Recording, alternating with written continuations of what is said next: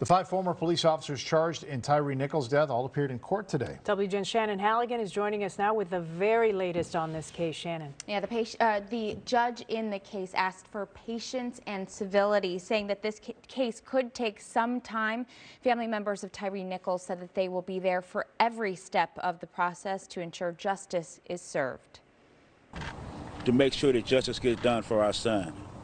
This is a glorious day. This is the beginning of the process. For the first time, the five former Memphis police officers charged in Tyre Nichols' death faced a judge. Tadarius Bean, Demetrius Haley, Desmond Mills Jr., Emmitt Martin III, and Justin Smith all pleaded not guilty.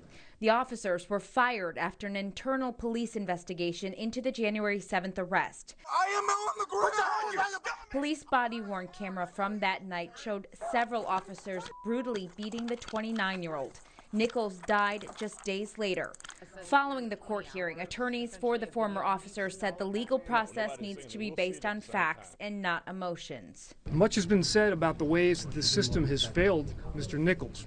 I will work tirelessly to make sure that the system does not fail Mr. Mills and that a fair outcome is achieved. That particular night, you look at an isolated incident and try to measure the person. Police said Nichols had been suspected of reckless driving. However, there hasn't been any evidence revealed of a traffic violation.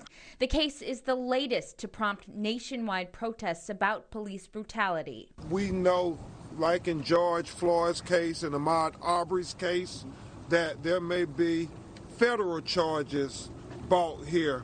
And so we want there to be full justice. Nichols' mother vowed to be there for every step of the process. They didn't even have the courage mm. to look at me in my face mm. after what they did to my son. So they're going to see me at every court date, mm. everyone, um, until we get justice for my son. All of the former officers are out on bond. Their next hearing has been scheduled for May 1st. Okay, Shannon Halligan, thank you.